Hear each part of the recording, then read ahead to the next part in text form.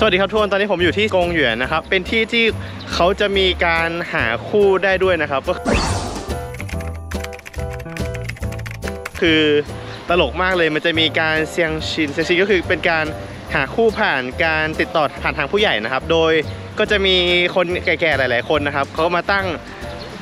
ตั้งนั่งอยู่ตรงนี้ครับเดี๋ยวผมให้ดูข้างหลังผมคือเขาจะตั้งเอาไว้อย่างนี้แล้วก็จะมีคนเขียนชื่อคนหรือว่า เขียนพวกประวัติการศึกษาอะไรอย่างเงี้ยครับ แล้วก็หาคู่ให้กับลูกๆของเขานะครับ โดย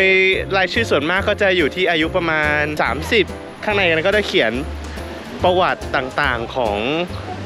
ของคนที่เขาจะหานะครับเดี๋ยวให้ดูบรรยากาศทุกคนเห็นไหมครับที่อยู่ที่พื้นนะครับ ก็จะเขียนพวกพวกอายุนะครับ ว่าผู้ชายเกิดปี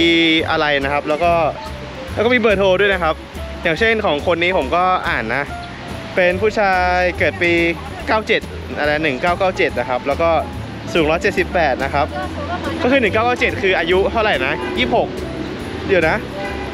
26เขาหาคู่แล้วเหรอ ผู้ชายไมรีบจัง 1997 นะครับ แล้วก็เขาบอกว่าอะไรนะ อยู่มหาลัยอะไรนะครับ แล้วก็เขียนว่าเรียนจบอะไรนะครับ ก็ตลกดีนะครับ อายุแค่ 26เขาหาคู่แล้วนะ บางคนก็อายุอยู่ที่ 20 เท่าไหร่นะ 27 ก็มีนะครับ เอ๊ะทำไมผู้ชายหาคู่เยอะจัง เพราะว่าประเทศจีนนะครับ คนผู้ชายจะเยอะกว่าผู้หญิง เพราะฉะนั้นก็เลยหาคู่กันยากหน่อยนะครับ ก็กลายเป็นว่า ผู้ชายมาหาคู่นะครับ ไม่รู้ผู้หญิงมีหรือเปล่านะฮะตลกดีนะครับตลกดีนะครับ มีการลงทะเบียนหาคู่ด้วยนะครับ ก็จะมีหนังสือ แล้วก็จะมีคนแก่มานั่งเขียนนะครับว่าว่าเราเป็นใครอะไรอย่างงี้นะครับ ก็น่าสนดีนะครับ เห็นไหมด้านหลังเขาด้านหลังเขาก็นั่งเขียนกันอยู่นะครับ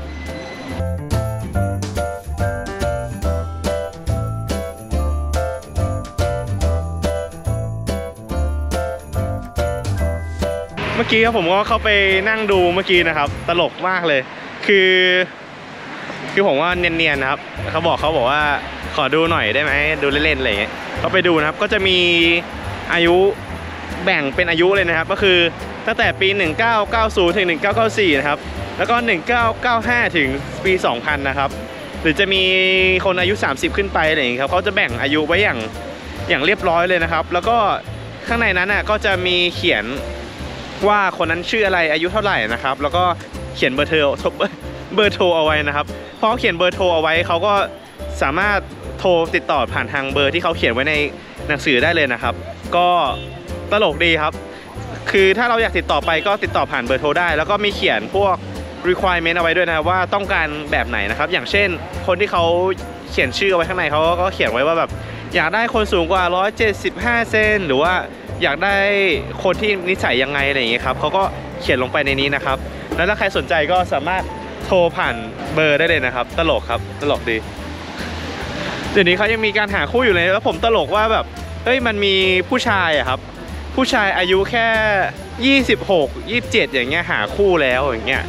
แล้วก็ผู้หญิงก็เหมือนกันนะผู้หญิงก็แบบบางคนอายุน้อยกว่าผมอีกอะบางคนอายุ 22เงี้ยพ่อแม่เขาเขียนชื่อลงไปให้แล้วนะครับ เป็นอะไรที่งงมากนะครับก็คืออายุ 22เองครับ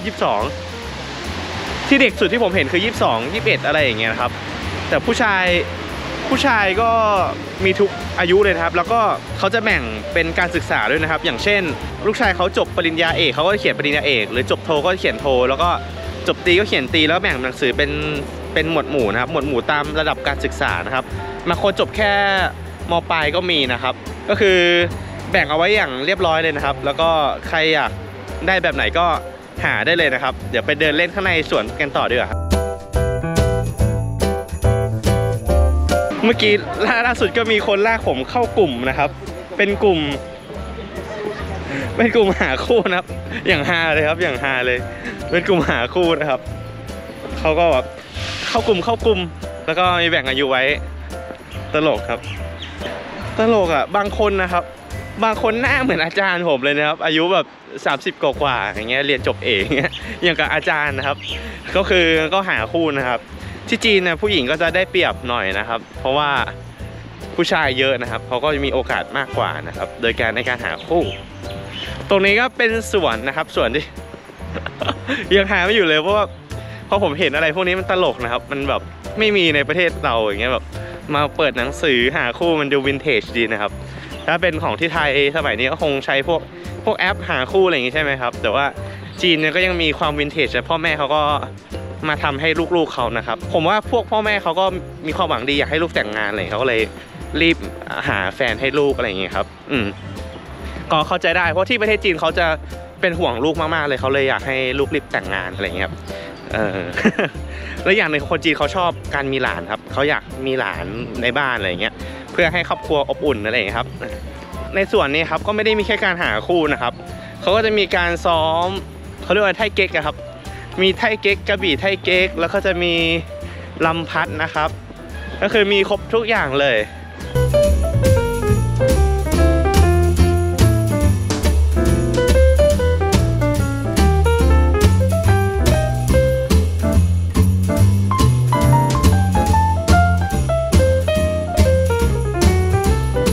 ใช่ผมว่าที่จีนนะครับมันดีนะครับ เพราะว่าเขาแบบมีกิจกรรมของคนแก่ที่ทำด้วยกันได้เยอะนะครับ แล้วก็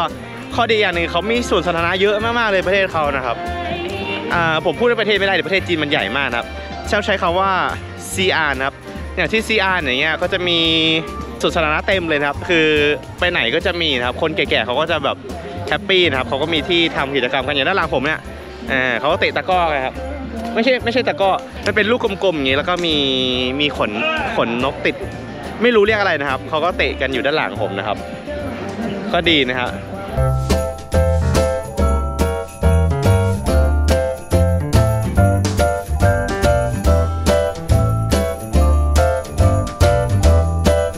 ด้านหลังผมก็จะมีฉือเปยนะครับฉือเปยก็จะเป็นหินที่แกะสลักประวัติศาสตร์นะครับ แต่ว่าไอ้ฉือเปยอันเนี้ยก็เกือบ 100 ปีแล้วครับหนึ่งจาก 1928 นะครับนี่จนถึงตอนนี้ก็เกือบแล้วนะครับ ทุกคนครับที่ที่เราอยู่นะครับก็คือเก๋อมิ่งกงหยวนนะครับ เก๋อมิ่งกงหยวนก็คือสวนสาธารณะการปฏิวัตินะครับ ก็คือ revolutionary park หรือว่าสวนสาธารณะปฏิวัตินะครับ ก็คือเป็นสวนที่เหตุ สือสองตัวนะครับเหตุการณ์เสือสองตัวก็คือปกป้องฉางอันนะครับในสมัยโบราณนะครับสวนสาธารณะนี้นะครับเป็นสวนสาธารณะที่เก่าแก่ที่สุดในซีอาร์นะครับหรือว่าอยู่ที่ปี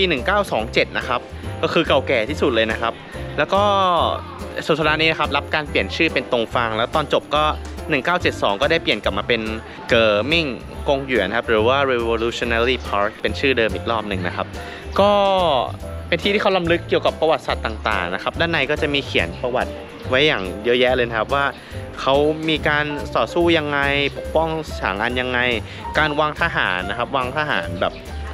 ออยู่จุดไหนของเมืองบ้างอะไรอย่างเงี้ยนะครับ ก็น่าสนใจมากนะครับ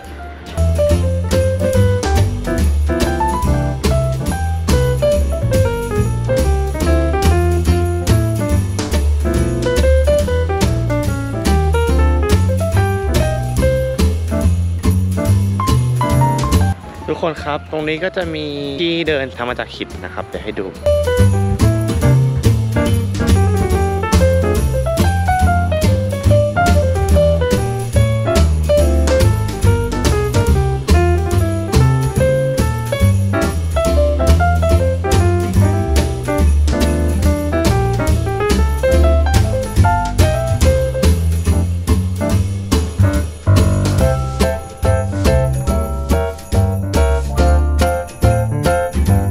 ทุกคนครับที่นี่ก็เป็นสวนที่สวยมากๆเลยครับที่ผมเดินมาดูเนี่ย มันก็จะมีเนี่ยครับทางเดินที่ทำมาจากหินทั้งหมดเลยนะครับ แล้วเมื่อกี้เห็นหินแบบสวยมาก แล้วก็สามารถดูวิวไปด้านล่างได้ด้วยนะครับด้านล่างก็จะเป็นวิวอย่างนี้ เดี๋ยวเราไปดูตรงอื่นต่อครับ ทุกคนครับที่เนี่ยภาษาจีนเขาเรียกว่าชือชานนะครับชือชานหรือว่าชานมันแปลว่าภูเขานะครับชือแปลว่าหินนะครับชือชานก็คือภูเขาที่ทำมาจากหินนะครับ ก็คือแปลกเหมือนกันนะมันเล็กๆอย่างนี้เขาเรียกภูเขานะภาษาจีนนะครับชือชานนะภูเขาหินนะครับอืม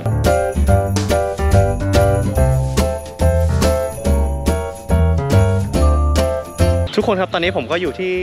ตรงที่มันมีไผ่นะครับ บอกเลยว่าสวยงามมากๆเลยนะครับตรงนี้ผมเห็นหลายๆคนนะครับ คนจีนหลายๆ คนช่วงนี้เขาก็จะมานั่งเล่นกันเยอะมากนะครับ เพราะว่าเป็นช่วงที่อากาศกำลังดีนะครับ ช่วงนี้ก็ 17 องศาอะไรเงี้ยครับเป็นช่วงที่เป็นช่วงน่าเที่ยวที่สุดนะครับสำหรับอากาศนะครับเป็นช่วงที่น่าเที่ยวที่สุด เพราะว่ามันสบายนะครับลมเย็นมาก แล้วก็เนี่ยใส่ฮูดดี้ตัวเดียวพอดีครับ ทุกคนว่าสวนสาธาที่จีเป็นไงก็ลองพิมพ์มาได้นะครับผมผมคิดว่าสวนสาธาที่นี่มันก็ มันน่าเดินน่านั่งครับน่านั่งแบบสบายๆอะไรอย่างเงี้ครับก็ถือว่าใหญ่มากครับ ผมเดินมาเนี่ยไกลมากแล้วครับ ก็ยังไม่หมดเลยครับหิวแล้วครับเดี๋ยวเดินอีกนิดนึงนะครับเดินอีกนิดนึงทุกคนครับด้านหลังผมก็คือหลิวจื้อตันนะครับหลิวจื้อตันเป็นผู้บัญชาการทหารสูงสุดของมณฑลฉานซีนะครับฉานซีก็คือเป็นมณฑลหนึ่งก็คือใหญ่มากๆเลยครับแล้วคนนี้เป็นผู้บัญชาการทหารสูงสุดนะครับเขาก็ถือว่ามีอำนาจมากในช่วงนั้นนะครับเขาก็อยู่ในพรรคคอมมิวนิสต์นะครับ แล้วก็เขาเสียชีวิตจากการที่ไปต่อสู้แล้วถูกรอบสังหารนะครับเขาเลยมีการตั้งรูปปั้นของเขาลำลึกไว้อยู่ที่นี่นะครับเราก็เดินเสร็จไปที่เรียบร้อยแล้วนะครับ ตอนนี้เราก็จะมาหาของกินกันนะครับ ตรงนี้ที่ผมอยู่นะครับเขาเรียกว่าเสี่ยวทานนะครับ เสี่ยวทานก็จะมีขายของต่างๆ อย่างนี้ก็เป็นถั่วครับ แล้วก็จะมีขายไข่หรือว่าผลไม้ต่างๆ อันนี้ก็เป็นขายผักที่ประเทศจีนก็จะหน้าตาประมาณนี้ครับ มีผลไม้เยอะเลย มีส้มด้วยนะครับเนี่ยด้านหลังผมตรงนี้ก็เป็นส้ม ช่วงนี้ก็จะมีกล้วย ส้ม วอลนัท แล้วก็มะเขือเทศนะครับ คนจีนเขาชอบกินมะเขือเทศมากเลยครับ บางคนเขากินสดๆกันเป็นเรื่องธรรมดาเลยนะครับ เขาบอกว่าไมันเหมือนเป็นเหมือนผลไม้เลยนะเขากินกันแบบชิลมาก ส่วนตัวผมผมก็ไม่ค่อยชอบนะครับ เพราะว่ากินสดๆไม่ค่อยอร่อยนะ นี่เขามีขายผักเขาวางที่พื้นอย่างนี้เลยนะครับ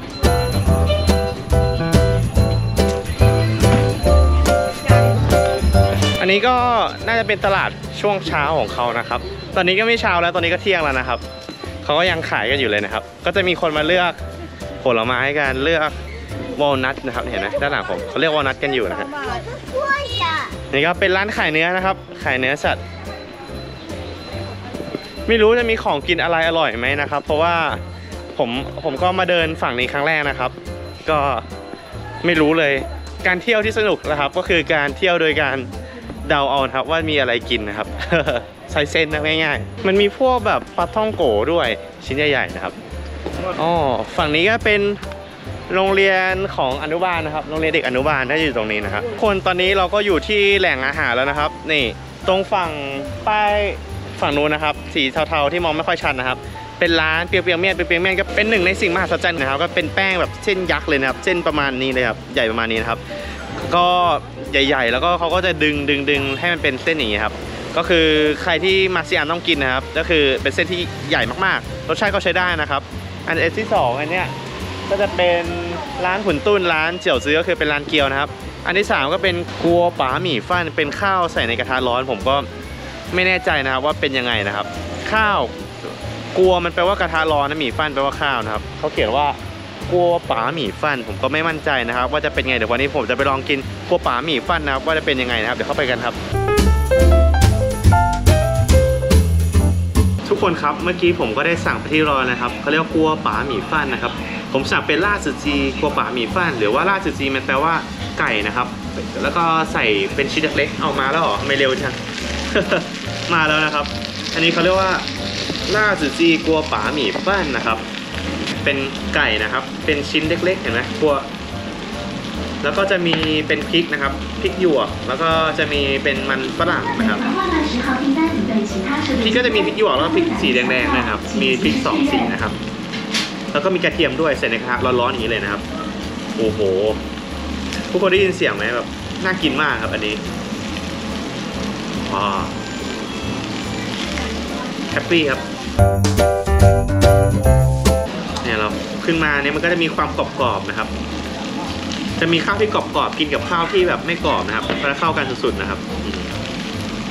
ที่ซีอานผมบอกเลยร้านที่ขายข้าวน้อยกว่าร้านที่ขายเส้นเยอะนะครับ คนที่นี่เขาจะติดการกินเส้นเป็นหลักนะครับ เห็นไหมเนี่ยเขากินก็จะมีก็มี texture ของความกรอบด้วยนะครับ กินพร้อมๆกันเดี๋ยวเรามากินกันนะ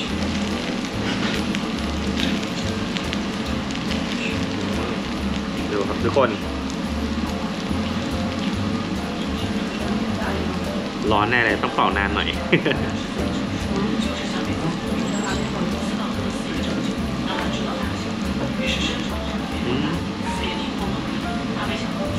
อร่อยมาก อร่อยมาก มีมีรสชาติความเผ็ดแล้วก็ข้าวที่กัดลงไปกรอบมากครับ แล้วพอกินให้ครบทุกอย่างพร้อมๆกันนะครับ คือรสชาติออกมากลมกล่อมมากดีมากครับโหวันนี้ได้เจอของอร่อยแล้วครับ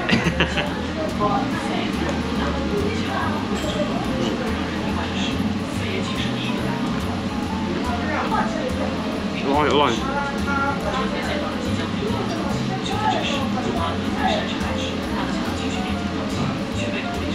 ผมโชคดีมากเลย มาร้านที่ของอร่อยพอดีเลยทุกมากครับ นี่ก็เป็นน้ำซุปนะครับที่คนจีนเขาก็กินน้ำซุปอย่างงี้ครับ กินแทนน้ำคือเขาส่วนมากเขาจะไม่กินแบบน้ำเย็นกับข้าวเขาจะกินเป็นน้ำซุปร้อนๆนะครับ แต่ก็มีคนกินนะ น้ำน้ำเย็นก็มีครับ แต่ว่าส่วนมากเขาจะกินเป็นน้ำซุปกับข้าวกันเป็นหลักนะครับ ที่ประเทศจีนครับไม่ใช่เขาไม่ใช่นะช้อนกินน้ำซุปกันนะครับเขายกกินหนีกันนะครับ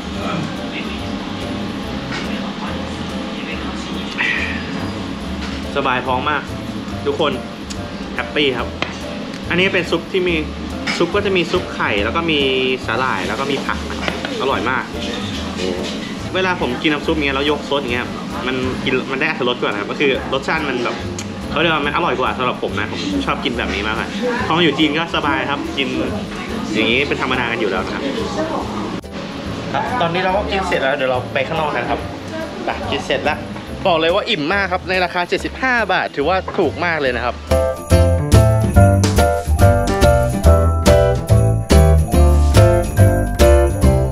กี้เราก็ซื้อน้ำนะครับ ได้มาแล้วน้ำเปล่า ก็ขายอยู่ที่ 2 หยวนครับ 2 หยวนก็คือ 10 บาทนะครับ ก็ถือว่าแพงกว่าที่ไทยนิดหน่อยนะครับ วันนี้ครับผมก็ขอปิดคลิปแค่นี้นะครับ ทุกคนคิดว่าการหาคู่ที่จีนที่เขาแบบเขาเรียกว่าเขาเรียกเซียงชินครับก็คือเป็นการเอาชื่อมาวางไว้ แล้วก็ประวัติมาวางไว้เป็นยังไงบ้างนะครับ ทุกคนคิดว่าเห็นด้วยไหมหรือไม่เห็นด้วยในการการที่พ่อแม่เอาชื่อเขามานะครับบางคนเขาก็ยินดีนะบางคนเขาก็น่าจะไม่ได้ยินดี แล้วพ่อแม่ก็เอามาใส่เองก็มีนะครับ ก็มีหลายแบบนะครับ ทุกคนคิดเห็นยังไงบ้างแล้วก็ คิดว่าสวนสาธารณะที่จีนนะครับ หน้าตาเป็นยังไงบ้างคิดว่าน่าเดินไหมครับ ถ้าทุกคนมีความเห็นยังไงก็คอมเมนต์ด้านล่างมาได้เลยนะครับ แล้วก็วันนี้ผมก็ขอจบแค่นี้นะครับ สวัสดีครับ